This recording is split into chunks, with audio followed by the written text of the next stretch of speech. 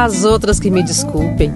Mas a cidade que tem o maior porto da América Latina, que foi o lar do maior atleta do século XX, tem os mais extensos e belos jardins de orla do planeta e o pôr do sol mais bonito, não pode mesmo ser modesta. Das varandas da cidade alta, as conversas largas do final de tarde são 478 anos de orgulho e conquistas. Parabéns, Santista!